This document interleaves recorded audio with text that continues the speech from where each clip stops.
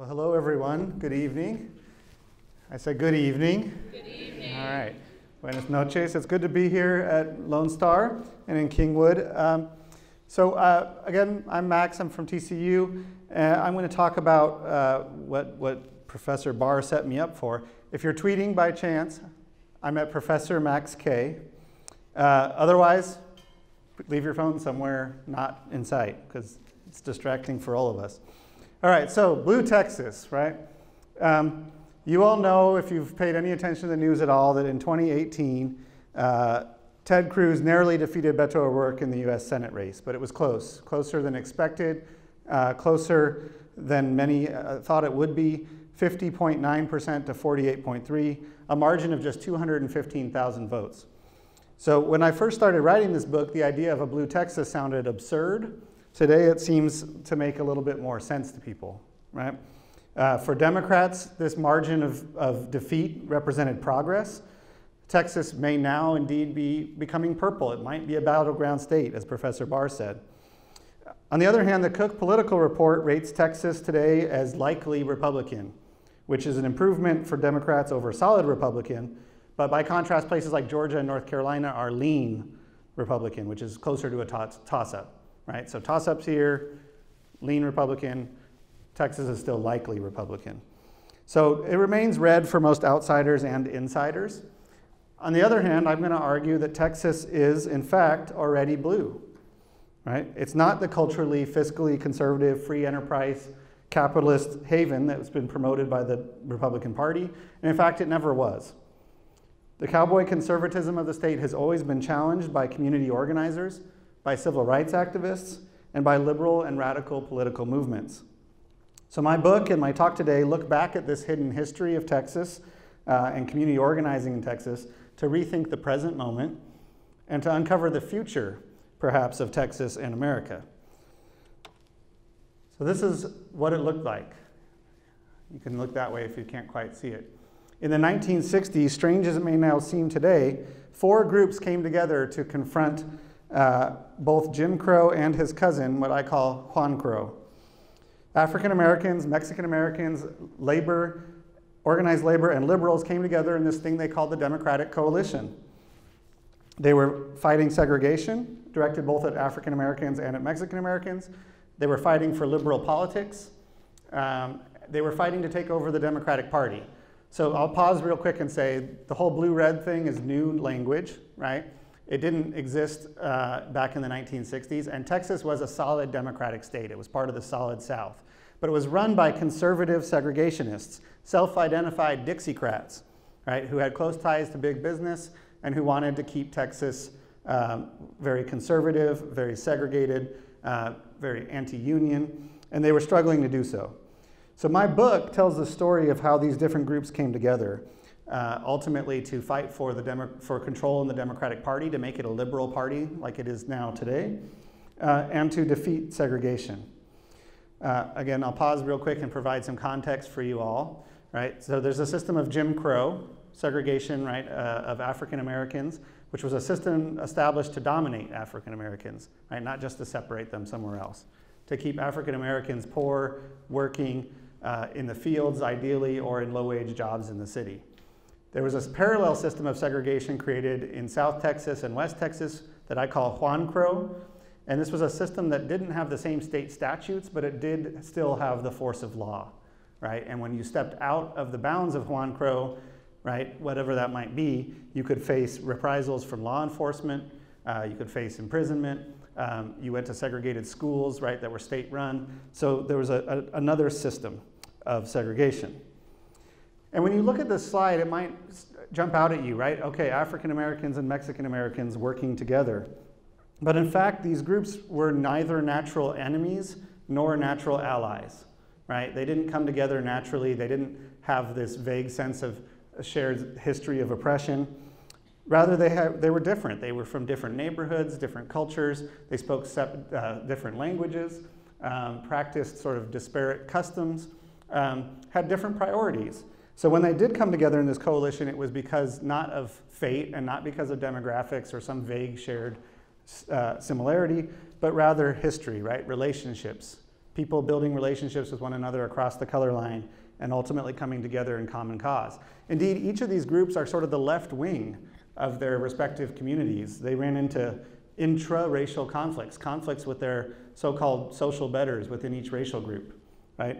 African American activists um, might have uh, a different perspective from middle class, self appointed race leaders, say.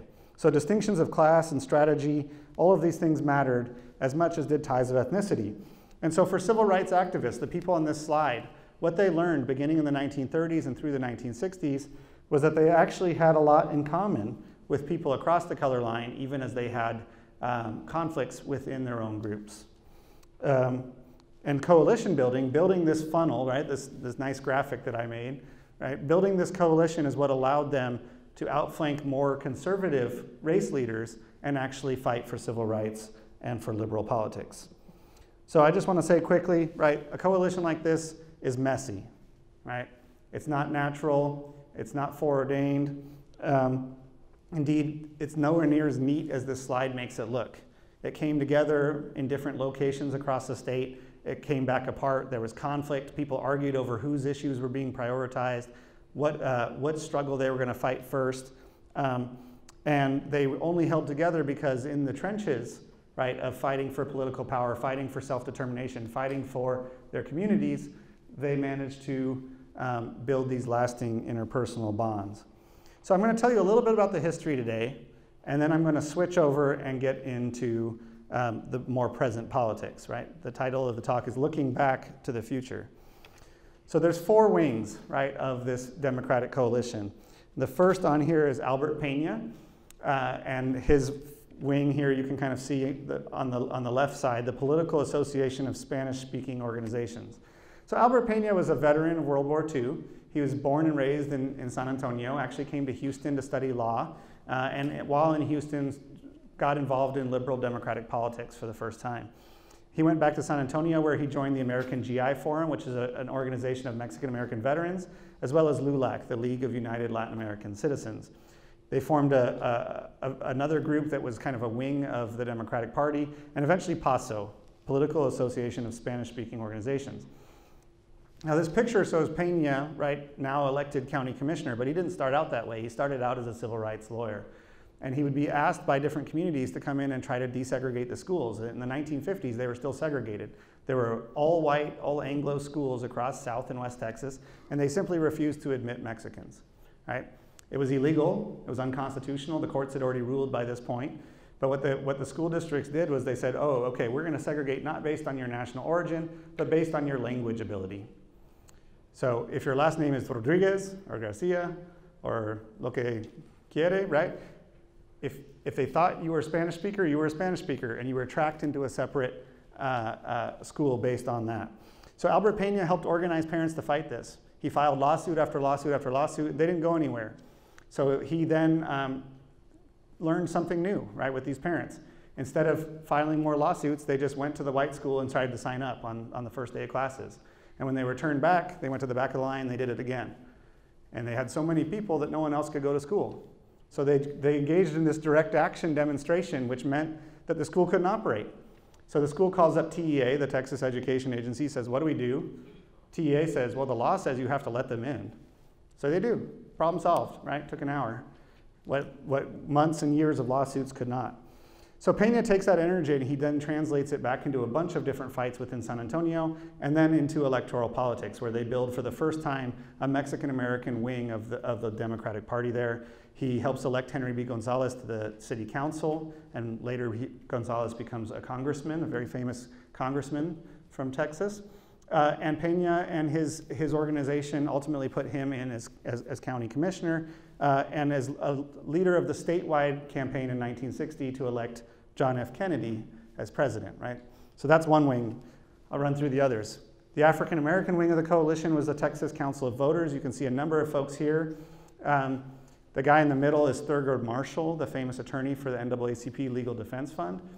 This, um, wing of the coalition really began uh, in Houston to a great extent, where African American uh, blue collar workers along the docks, in the railroad, railroads, uh, and other kind of uh, occupational sectors, oil as well, the early oil refineries.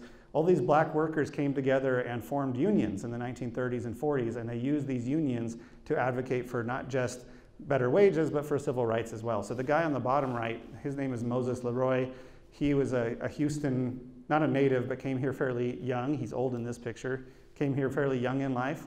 Um, uh, and he was a, a, main organizer along the docks, uh, I'm sorry, in the railroad yards, as well as of the NAACP. So the Houston chapter of the NAACP during World War II grew to become the second largest in all of America, right? only after Detroit. And it was filled with these black industrial workers who had a broad vision of civil rights that linked it not just the struggle against Jim Crow, but the fight for economic justice. And among other things, they accomplished you know, a number of Supreme Court victories. Right? You all know the case Brown versus Board of Education in 1954. Well, the key precedent for Brown was a case that came out of Houston, right? That they're actually arguing in this photo, right? Uh, the case of Heman Sweatt versus Painter. The, uh, Sweatt was a black postal worker and union activist who, when he couldn't get promoted, decided to go to law school. Texas University of Texas wouldn't admit him because he was black. So he sued them, and they ended up going to the Supreme Court and winning, breaking open higher education for everybody, right, and ultimately giving the court the precedent for Brown. All right, third wing is the white independent liberals. That's what they called themselves because they didn't have an organization after the 1960s. Uh, but they did before that have something called the Democrats of Texas. Uh, and the woman in this photo is actually from Houston also, Mrs. Frankie Carter Randolph. She um, was a kind of wealthy white society lady, right? Who, uh, for whatever reason, broke away from her family fortune, adopted some liberal politics, and put a bunch of money into helping groups get organized. And their biggest victory was in the 1950s. Uh, they elected a United States Senator. 1957, his name was Ralph Yarborough. And Ralph Yarborough was one of the more liberal US senators ever to be elected from the American South.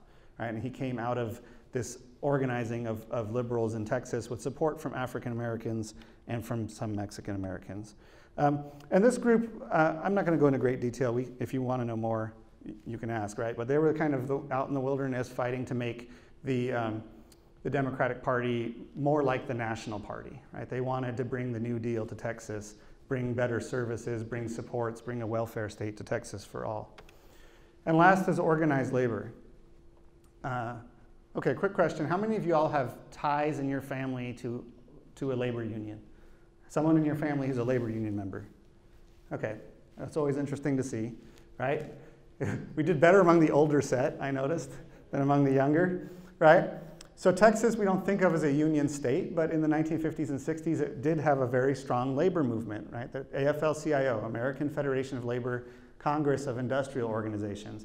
And it was led by a plumber from San Antonio named Hank Brown. Uh, and Hank Brown was a very um, uh, forward-thinking union member. Uh, he, he, over time, he was from San Antonio as well. So he started working with Albert Pena and with other folks in, in building local alliances for civil rights and for liberal politics. And eventually he comes to understand that for labor to grow, they need to move beyond their historic stronghold among white uh, uh, operatives, like semi skilled workers in the refineries and the aircraft plants and places like that, and actually go out and organize um, unskilled workers, African Americans and Mexican Americans, um, agricultural workers, all these sectors that labor hadn't really touched. And at its height, um, organized labor represented about 17% of Texas wage employees, so about one in six. So if I had asked you that same question, right, 50 years ago, probably all of you would have raised your hand, especially at a community college, right, that someone you knew, someone in your family was a union member. All right, so um, it's a long story, it's all in the book, right? This group first starts coming together in the 1930s. As I mentioned before, they, they come together and they fight with each other a lot. Uh, their alliances break apart. They argue over um, how quickly to push on civil rights, for example. They argue about um, uh, you know, how to fit in issues that affected Mexican Americans that weren't always seen as a priority. Um, and they argued in part because the white liberals, the independent liberals, tended to think of themselves as the people who understood how change would happen. Right? They, they thought, oh, we've been fighting the segregationists for decades. Um, we, we we know the game of politics. We've been playing it for a long time. Uh, we can't push too hard, too fast, or we're going to end up um, messing up messing up the larger cause, right? Easy for them to say. They're not the ones that are most effective by Jim Crow segregation or by Juan Crow segregation, right? So this paternalism, this attitude that they could dictate this, the pace of change, ultimately became obsolete. In the 1960s, these different groups, right, this group in particular, right, they lead sit-ins at lunch counters all across the state of Texas. Mexican Americans are marching across the state of Texas. They're pushing for power within the local Democratic parties. They're helping to elect John F. Kennedy as president. Um, and so finally, they come together in this Democratic coalition, and, and the white liberals are forced to understand African Americans and Mexican Americans as the leaders of change and to eventually get behind their, their issues, right? To make civil rights the top priority. And when they did that, this coalition came together, right? When it became, let's not just pussyfoot around the issues, let's make fighting racism our top number one priority, right? It became a very cohesive and powerful coalition that, um, uh, that, that um, helped every group sort of transition into a new phase. Um, it grew. By 1963, they launched a massive march on Austin. It was the same day as the March on Washington, August 28th. Right? There's more than a thousand people marching from East Austin, and it's a mixed group: African Americans, Mexican Americans, and whites. Uh, and what they, again, what they learned is that the more liberal their politics, the more committed they were to integration, the more effective they could become. Um, there's a, at the March on Washington, right, there's a great speech one of the one of the leaders gives. He says they'll never separate the Negro and the Latin American again, right? Which of course are outdated terms. But the point, right, is that African Americans, Mexican Americans, he says they'll never separate labor and the Negro again. They'll never separate the independent white man from these groups again. Right? That this coalition is cohering and that they can then now challenge the political structure of Texas. And they did. They launched a huge um, voter registration drive, uh, as well as um, a get out the vote effort. You can see this is a, a photo uh, of one of their flyers, right? And it shows on here organized labor, PASO, the coalition is helping to awaken what they called the sleeping giant of Mexican American voting power, right? So they were successful at the polls, they were successful in politics because they tied what they were doing in the elections to these broader social movements for civil rights, right? They would go and they would march together, they would protest together, they would do sit ins together, and they would also go and register voters together and turn them out to go to the polls. So in 1964, they, had, uh, they created a massive volunteer organization, an army of volunteers. Um, and uh, some 10,000 block workers signed up to voluntarily join their campaign. Um, and they hired a whole bunch of African American and Mexican American staffers to lead this voter turnout effort. Um, and they were wildly successful, right? They transformed the political map of Texas. They broke open the doors to the Democratic Party. Right? They, they, they succeeded over time in, in transitioning it from being the, the party of conservative segregationists to being a party that was multiracial, multi-ethnic, and, and committed to liberal politics. They recruited some of the great leaders they made the, the new Texas political map where the cities become dark blue, right, and surrounded by red suburbs. Um, and in the end, they were able to force Texas to modernize, right, to, to implement the Civil Rights Act of 1964, the Voting Rights Act of 65 and 75. They did the work on the ground of finally bringing civil rights to Texas. At the same time, they fell short right? They fell short of their wildest goals, leaving work to be done and a blueprint for how to do it. So that's what my book tells that story, right? The blueprint. If you want to read more, you can go buy one over there. I'll happy to sign a copy for you, right? Get it on Amazon, whatever. Um, uh, it'll tell you the, the story in greater detail. But what I want to do for the rest of my time today is kind of talk about what this history means for the present moment, right? For, for politics in more recent years. Um, you know, the sleeping giant metaphor is still with us, right? You may have heard it before, right? The, the rise of the Latino vote is not yet complete. Uh, in fact, when I look at these documents, primary sources from the 1950s and 60s, people talk about uh, Mexican American demographic change and votes in almost the exact same way that they talk about them today. Right? uh, the language has not shifted much. right? But the politics has, and this is what I'm going to talk about. So turning to 2016, more recent history. It really began earlier. The energy of Obama's campaigns in 2008 and 2012 led to efforts to revitalize the Democratic Party in Texas. It had basically been dead or dying since 1994, right? Uh, and it, um, with Obama came a bunch of new efforts to create new organization in the state. A group called Battleground Texas began um, and, and began going out and trying to build organization.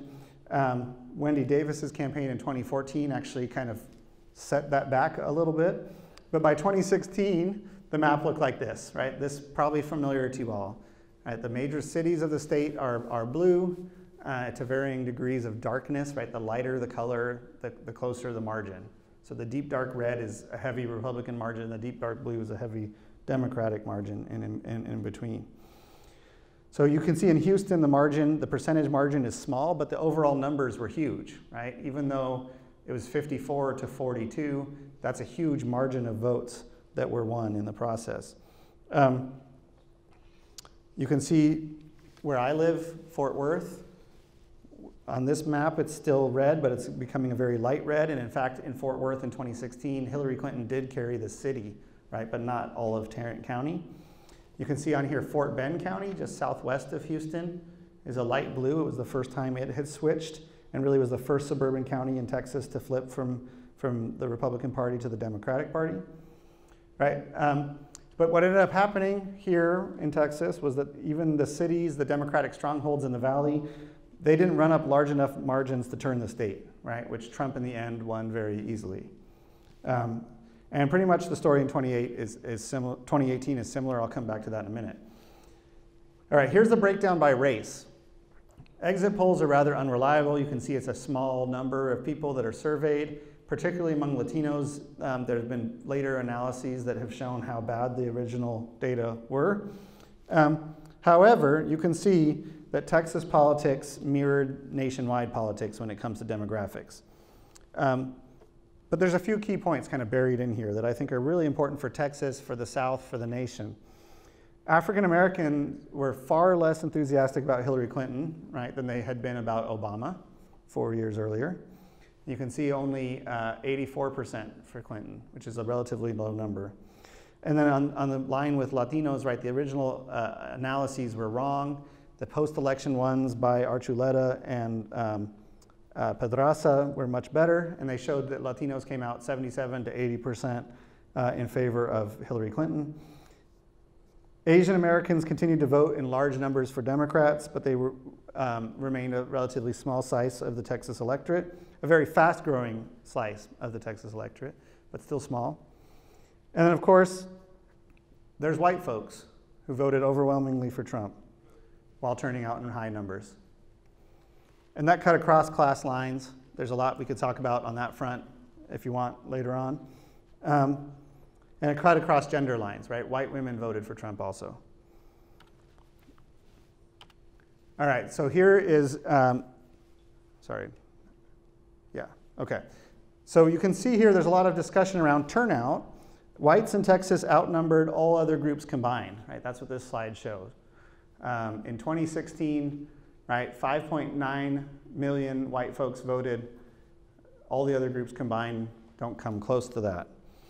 Um, again, Asian American turnout was way up, certainly decisive in flipping Fort Bend County, right, outside of Houston. Um, and if you look year over year from 2012 to 16, the turnout among Latinos, listed as Hispanic on this slide, was very, pretty much unchanged, right? almost no change. And this is despite the years and years of work of Battleground Texas and other groups to try to start moving the needle there, including the state Democratic Party, right? Um, side note, the state Democratic Party in 2012 had a staff of four people. Four people, right? so by 2016, they had scaled up to 40 people, which still isn't very much for a state as big as this one. Um, so, right, despite their efforts, they weren't moving very far. Um, most alarming on this slide, you can see that African American turnout and the number of votes actually fell between 2012 and 2016. Fewer hmm. African Americans voted, a fewer percentage voted, and those are the numbers in red. right? So there's no path to victory for Democrats in which that's true. Right? A, small, a shrinking share of the African American vote, a lack of enthusiasm among African Americans is going to spell trouble. Many Democratic strategists and others, political analysts across the spectrum, they look at these numbers and they say, clearly Democrats need to focus on Latinos, right? That can't be the only group that matters, right, as I just said. And moreover, right, there's all this discussion that demographic change is going to inevitably produce change uh, at the polls, going to inevitably switch the partisan alignment. As I said, people have been saying that for 50 or 60 years. And in fact, there's new research by my colleague Rogelio Saenz at UTSA that shows that the Texas population of whites is actually growing much faster than thought, both naturally, right, natural reproduction, and from in-migration. And the people who are migrating to Texas, white folks migrating to Texas, um, are voting Republican, right? They move to Texas in part because they see it as a red state, right? So that's bad news if your goal is demographics are going to fix this, right? If you think demographics are going to turn Texas blue, the, the numbers are not anywhere near as good as has been assumed, right? So instead, it's really a question of organizing. It's not just registering voters, but actually getting them to the polls. Right, if you go out in the street, most people say, oh, we just need to go register more folks, right? And that may be true in smaller local races. A, a, small amount of registration can make a really big difference. But the state level, it's really about turnout. So if you, one way to see this is to compare Texas to its great foil of California, right? You all hear the slogan, don't California my Texas, right? Don't, all this juxtaposition of, of these two states, right? Uh, um, I could go for their beaches, but that's a side, a side point, right? What you can see when you look at this is the critical number is, the, is kind of the second line, the voting age population, the percentage of voting age population registered. So this is everyone of voting age population who's eligible, right? So it does not include immigrants, it wouldn't include disenfranchised felons, things like that. It doesn't include children. But 78% of the voting age population that's eligible is registered in both states. Right? So registration is not the problem right? It's not what's holding Democrats back. California votes on election day and Texas doesn't. That's, what's, that's the difference, right? Those bottom lines. Of the voting age population in Texas, 58.74% voted. In, in, Cal, in Texas, only, I'm sorry, California, 58.74. In Texas, only 46. So the question is why?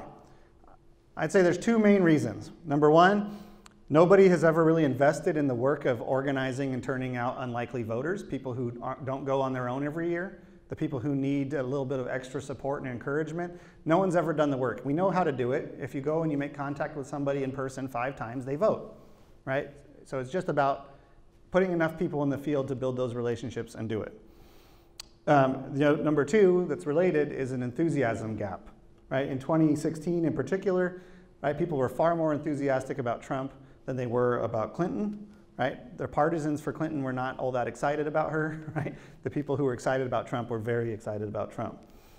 Um, and relatedly, right, I think the reason for that was that partisan politics, elections, electoral politics were disconnected from people's daily lives, right? To go back to the history I talked about, the Democratic coalition worked because it connected social movements, it connected the struggle against racism, it connected people's daily experiences to coming out and voting, right? They would, they would distribute block worker kits that said, they would call them freedom kits, right? They would say, go vote for freedom.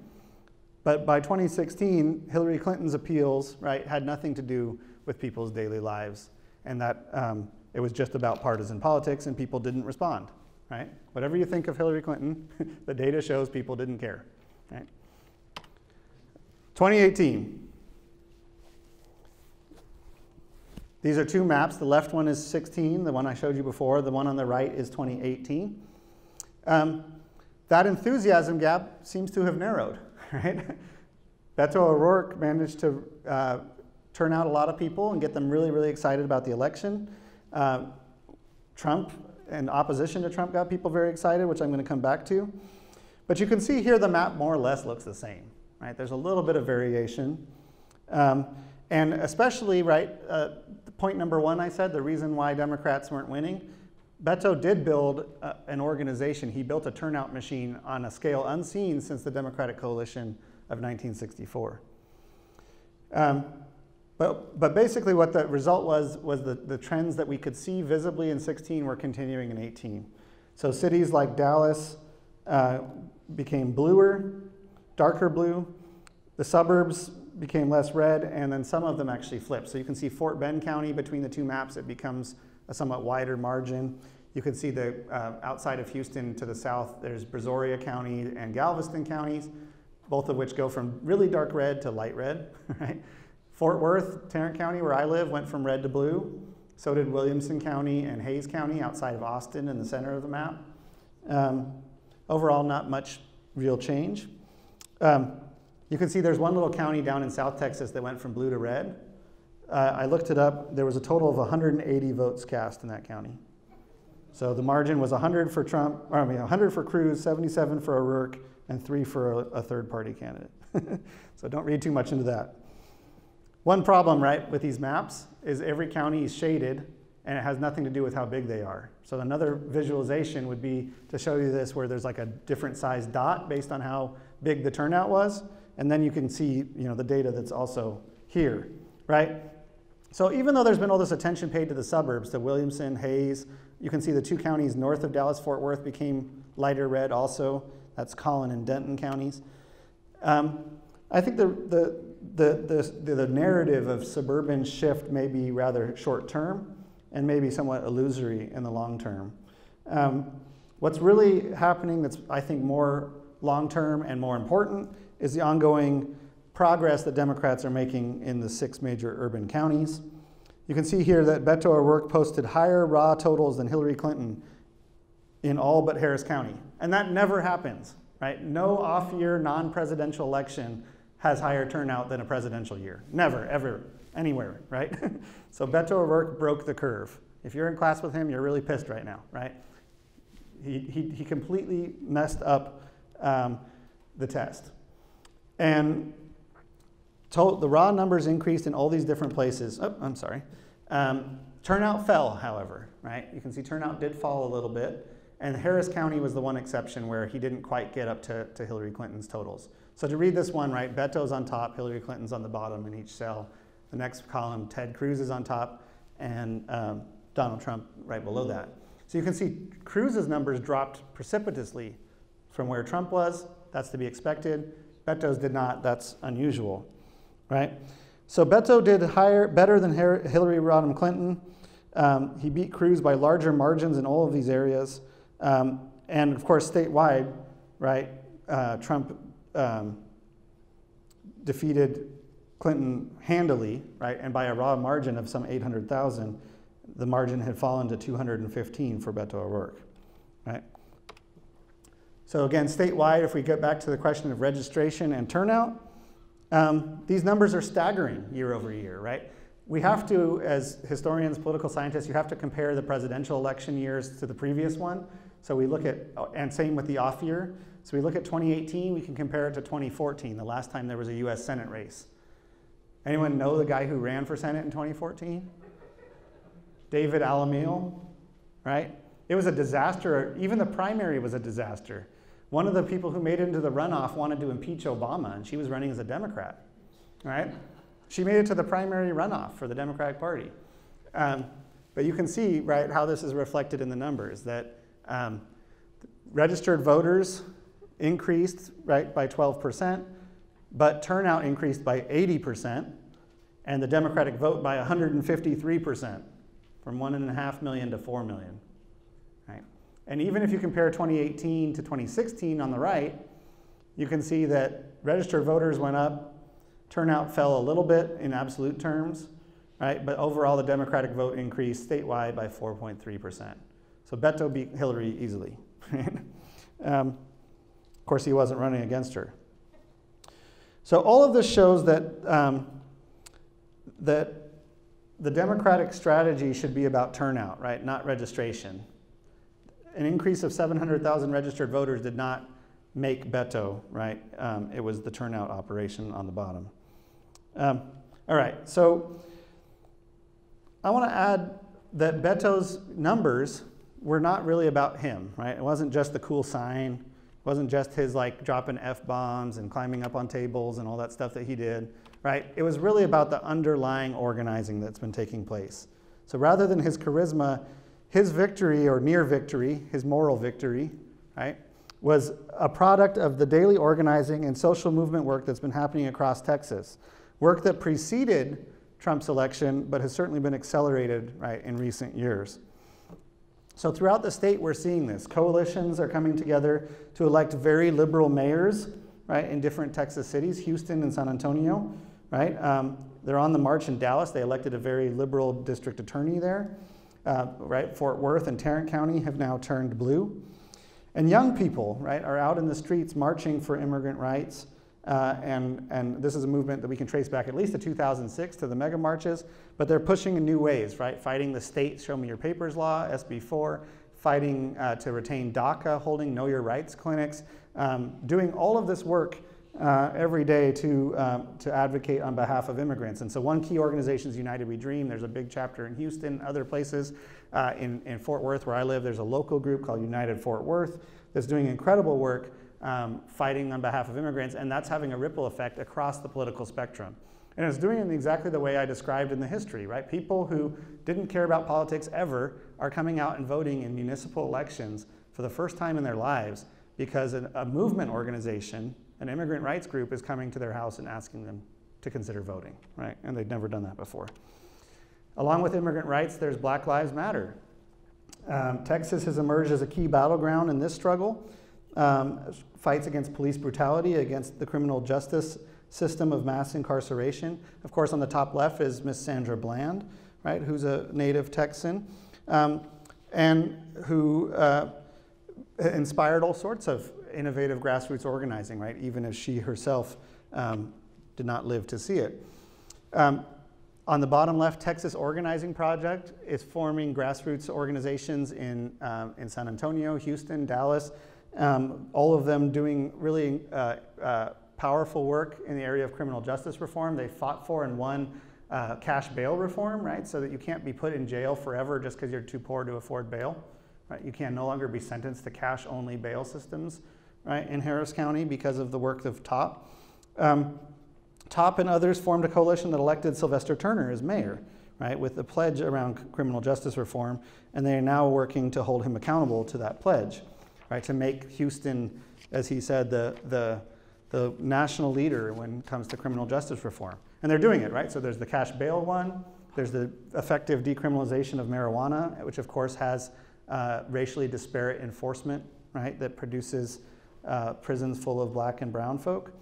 Um, TOP and all these other groups are also fighting for African descended immigrants, black immigrants from the Caribbean and from Africa right? So here they are fighting for TPS, temporary, temporary protected status for uh, black immigrants from Haiti. They're forming coalitions with Latinos and with Middle Eastern immigrants. And there's close personal bonds developing between these activists, between folks in Black Lives Matter Houston and folks in United We Dream Houston. And we can see the movements beginning to converge.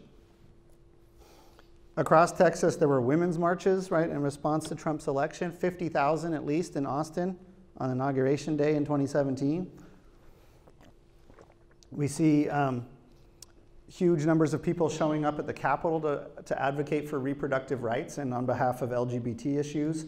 Right? There was a multiracial alliance that confronted the legislature's effort to pass a bathroom bill, uh, uh, SB 3, and it went down to defeat. So we can see those battles happening as well. On the left, there's a whole explosion of liberal and further left organizations statewide, even in places you wouldn't think. Indivisible Smith County, right, outside of Tyler.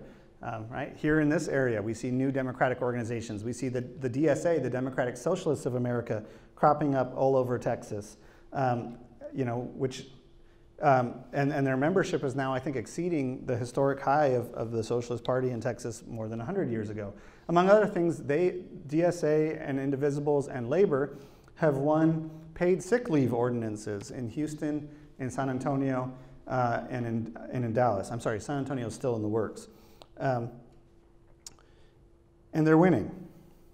Organized labor is even back in Texas, right? Which you wouldn't guess, but they are, and they're innovating. They formed a new youth wing called YALL, Young Active Labor Leaders.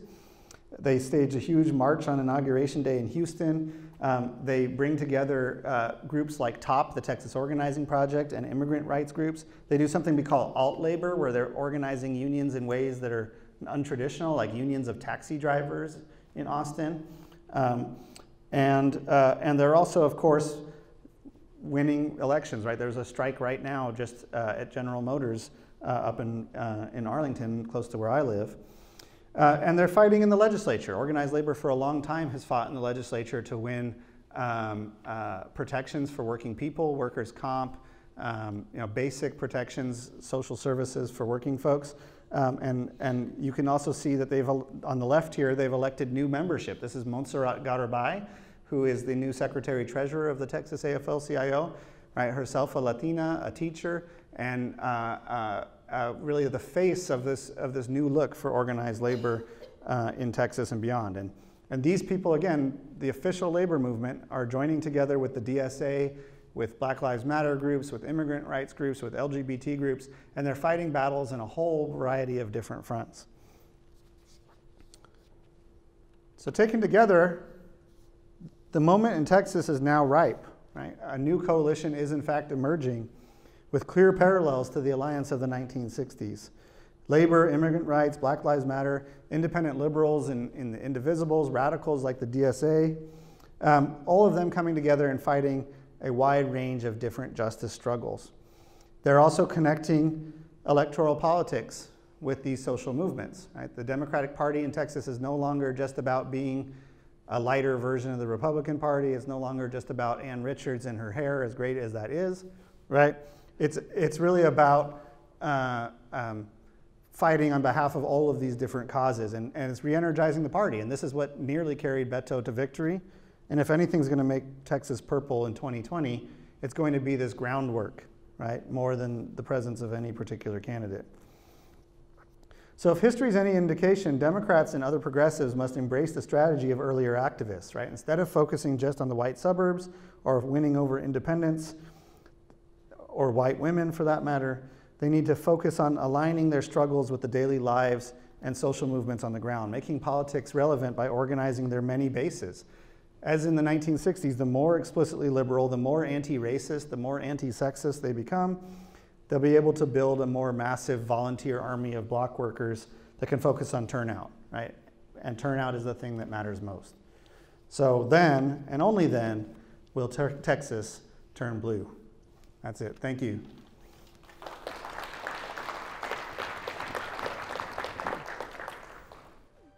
Be sure to follow us on social media at Facebook, Twitter, and Instagram. Like this video, leave a comment, and hit that subscribe button to be notified about our latest content.